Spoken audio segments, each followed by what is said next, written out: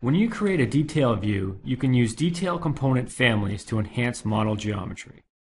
When detailing an element like a block wall or a wall with siding, you may need to use multiple instances of a detail component to represent the condition. In cases like this, consider using a repeating detail. In this example, we want to add a siding detail component to the wall.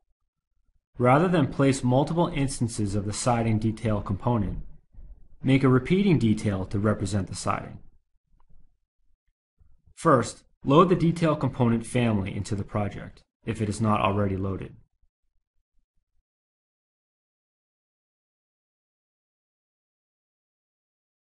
Then click the Repeating Detail Component tool.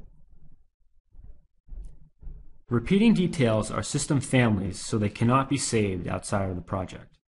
A repeating detail that is already in the project must be duplicated and altered to create a new repeating detail family.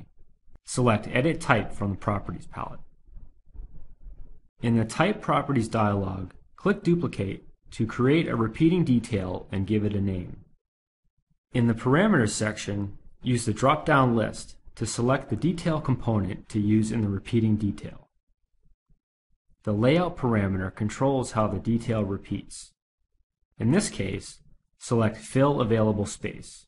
This setting places the repeated elements a distance apart, which matches the size of the detail element so only whole elements without overlap or extra spacing are placed. Other layout modes can be specified as required.